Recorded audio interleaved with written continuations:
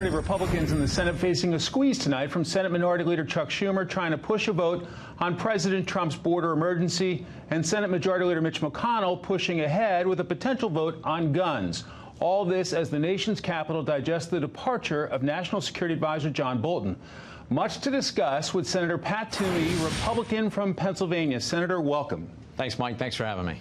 An issue you're working on very closely in a bipartisan fashion is guns. Let me play something from your colleague Chris Coons, and I will get you to respond. Okay. I think this falls under the heading of let's enforce the laws we have more thoroughly. I cannot have another month go by where we have more mass shootings as we did in Dayton and El Paso and Odessa in just the last few weeks. How are your efforts to come together with something that President Trump will sign going at this point?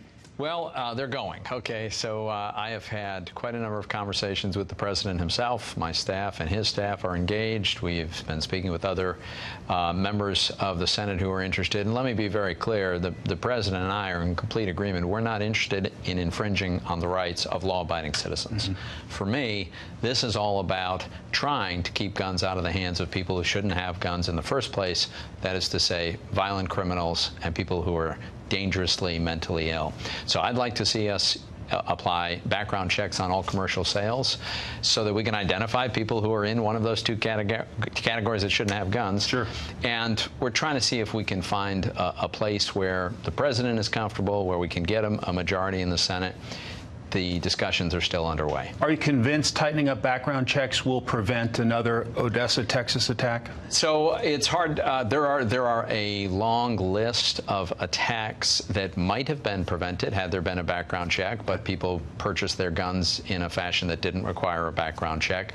But Mike, I'll be the first to say there is no one piece of legislation that's going to end these kinds of appalling, horrific mass attacks. There, there's no one thing we can do. But if we can make it harder for dangerous people to get firearms in the first place, maybe we'll save some lives. Senate Democratic Leader Chuck Schumer looking to put you guys on the spot. Take a listen to this.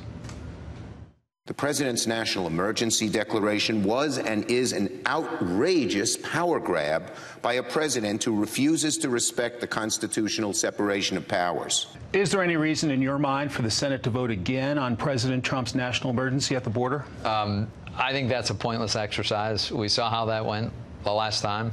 Uh, it's going to go the exact same way this time. Um, I actually think the president is right to identify the emergency at our border.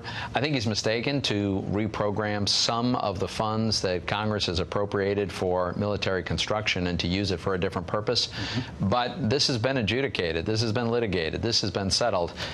Senator Schumer just wants to try to score political points and to tie up the Senate so that we can't be doing productive things. Another bombshell headline today John Bolton is out at the White House. Here's your colleague Rand Paul's reaction, and I'll get you to react. I think uh, the threat of war around the world is greatly diminished with Bolton out of the White House. I think he had a naive point of view for the world that we should topple regimes everywhere and institute, you know, democratic governments and we would make the world perfect or remake the world in our image. And frankly, it just doesn't work that way.